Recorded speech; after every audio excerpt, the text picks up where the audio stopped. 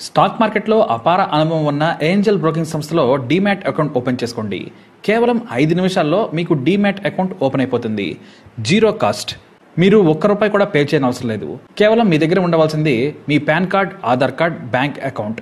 ఈ వీడియో కింద ఉన్న లింక్ క్లిక్ చేస్తే కేవలం ఐదు నిమిషాల్లోపే డీమ్యాట్ అకౌంట్ ఓపెన్ చేసి ట్రేడింగ్ కూడా స్టార్ట్ చేసేయచ్చు.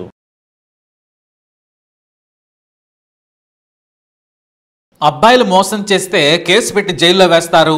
అమ్మాయిలు మోసం చేస్తే మాత్రం పట్టించుకోరు. అదే చట్టం ముందు మాత్రం ఆడా మగ తేడా అనేది ఉండదంటారు. కానీ మోసగత్తలు ఎంత మోసం చేసి ప్రాణం తీసినా మాత్రం పట్టించుకోరు. అదే ఆడపిల్లలకు అన్యాయం జరిగితే మాత్రం కేసులు పెట్టేసి జైల్లో వేస్తారు. నన్ను ఓ యువతి దారుణంగా ప్రేమ పేరుతో పిచ్చోడిని చేసింది. కానీ ఆమె ప్రేమ నాకు మాత్రమే కాదు చాలా మందికి పంచుతుందని తెలిసింది. ఇలాంటి మోసగత్తెలను శిక్షించాలంటూ ఓ యువకుడు లేఖ రాసి ఆత్మహత్య చేసుకోవడం సంచలనం సృష్టించింది. ఆ యువకుడి లేఖ ఇప్పుడు సోషల్ మీడియాలో వైరల్గా మారింది. ఆ లేఖలో తన ప్రేమ ప్రేమకథతో పాటు తన చావుకు కారణమైన యువతి గురించి కూడా రాశాడు ఆ యువకుడు. లేఖలో వివరాలు ఇలా ఉన్నాయి. ఏపీలోని కృష్ణలంకకు చెందిన అబ్దుల్ సలాం అనే పంతొమ్మిదేళ్ళ యువకుడు కానూరులోని ఓ ఇంజనీరింగ్ కాలేజీలో బీటెక్ మూడో సంవత్సరం చదువుతున్నాడు. అయితే అదే కాలేజీకు చెందిన కుసిమిక అనే యువతితో కొన్ని రోజులుగా లవ్లో పడ్డాడు. కానీ ఆమె మోసం చేస్తుందని చాలా ఆలస్యంగా తెలుసుకున్నాడు. అప్పటికే ఆమెతో పేకల్లోతు ప్రేమలో ఉన్నాడు సలాం. అర్ధరాత్రి సమయంలో ఏకంగా యువతి నగ్నంగా వీడియో కాల్స్ మాట్లాడి రెచ్చగొట్టేది. ఆమె ప్రేమలో పిచ్చోడైపోయాడు సలాం. కానీ అదే కాలేజీలో పనిచేసే లెక్చరర్తో కూడా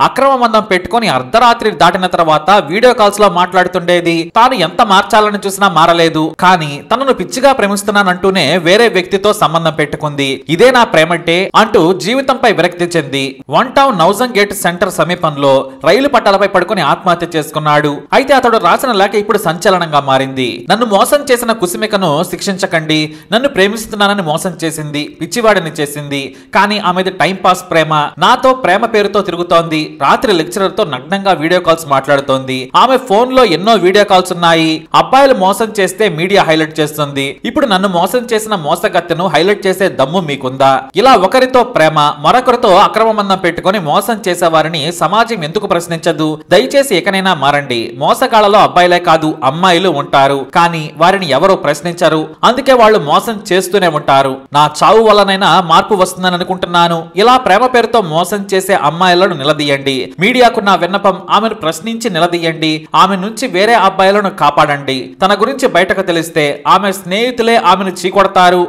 అందరికీ ఆమె గురించి తెలుస్తుంది. నువ్వు నన్ను ప్రేమించి పిచ్చివాడిని చేశావు. నీ మోసం వల్ల ప్రశాంతంగా బ్రతకలేకపోతున్నాను. నీ టైం పాస్ కోసం నాతో ఆడుకున్నావు. నా చావుకు కారణం నువ్వే. నా పేరెంట్స్కి నువ్వే సమాధానం చెప్పాలి. ఎంత జరిగినా నువ్వు ఆ లెక్చరర్తో మాట్లాడుతున్నావు. నేను బ్రతకలేక ఈ స్టెప్ తీసుకుంటున్నాను. నేను చచ్చిపోయాక హ్యాపీగా మాట్లాడుకో. ప్లీజ్ అబ్బాయిలను టైం పాస్ కోసం లవ్ చేయకు గుడ్ బై. నా చావుకు నువ్వు కారణమైనందుకు నీకు థ్యాంక్స్ అంటూ మనోవేదనతో అత్యంత బాధతో లేఖ రాసి ఆత్మహత్య చేసుకున్నాడు ఆ యువకుడు.